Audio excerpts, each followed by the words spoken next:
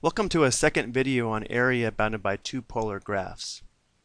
In the previous video we talked about how if we have area bounded by two polar curves where the outer curve f of theta is greater than or equal to the inner curve g of theta which is greater than or equal to 0 then the area will be equal to 1 half times the definite integral from alpha to beta of f of theta squared minus g of theta squared d theta.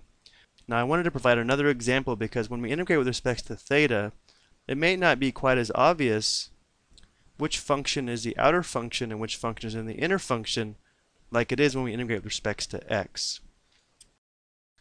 What I mean by that is if we want to determine the area of this shaded region, it does look like this area is bounded by two polar curves. And then our integrand may contain the difference of the squares of these equations. However, notice when theta starts at 0 and starts to increase, this tiny sliver here is carved out only based upon a small piece of this red circle or r equals 4 sine theta. And it's pretty easy to see from this graph that that would be from 0 to pi over 6. Then notice as theta increases from pi over 6 to pi over 2, the shaded region is only bounded by the blue circle or r equals 2. So even though it appears this area is bounded by two polar curves, in fact it's not, but it will take two definite integrals to determine the area of this shaded region. So what I think we'll do is we'll find the area of half of this region and then double it to find the total area. So let's see if we can set this up. The area is going to equal 2 times 1 half, because we're doubling the area, times the definite integral from 0 to pi over 6 of the red circle squared, which is 4 sine theta,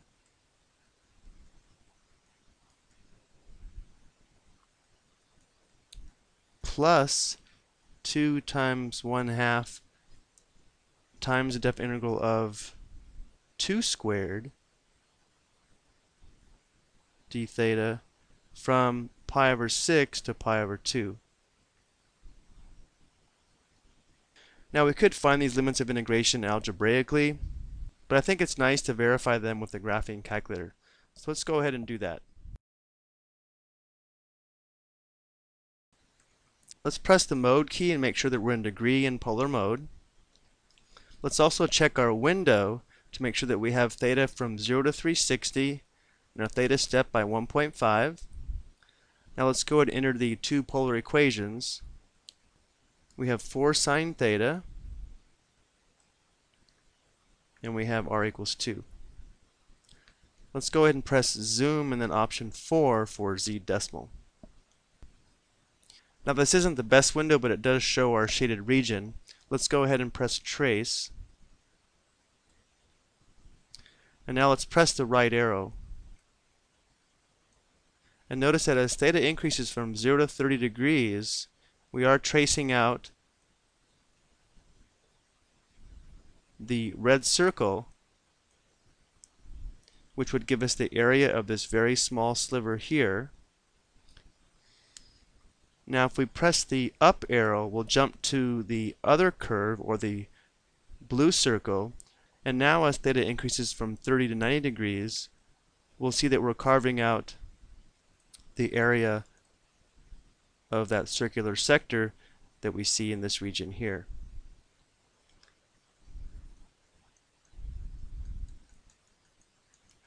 And we can stop at 90 degrees because we are going to double both of these areas to find the total area.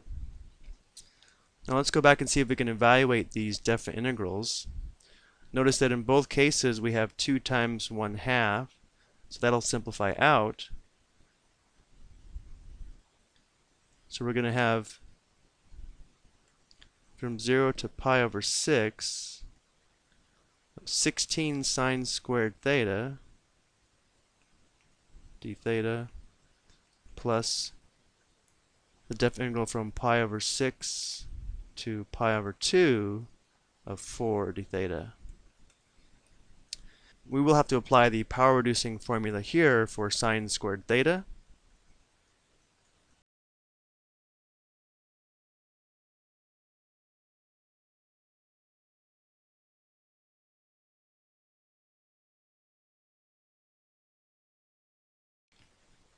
And this simplifies.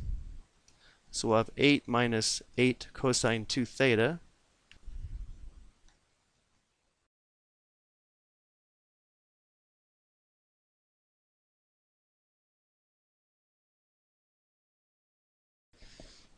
Let's go ahead and continue this on the next slide.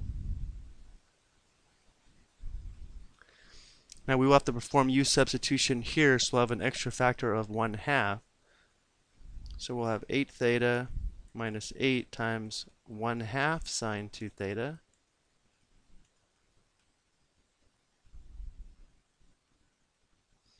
This will be plus 4 theta.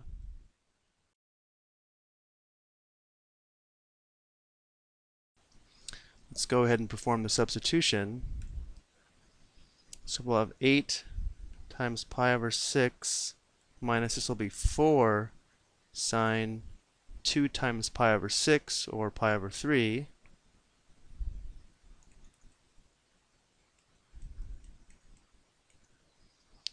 minus and then when theta is 0 these will both be 0 and then for the second integral we'll have 4 times pi over 2 minus 4 times pi over 6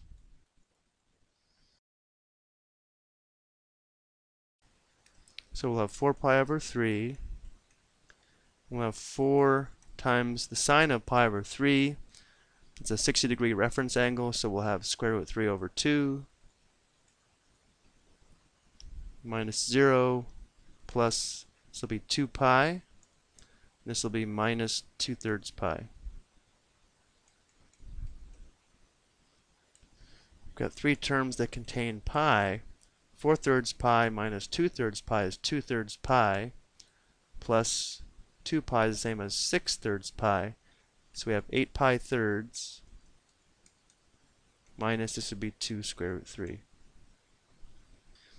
So this would be the area of this shaded region between these two polar curves.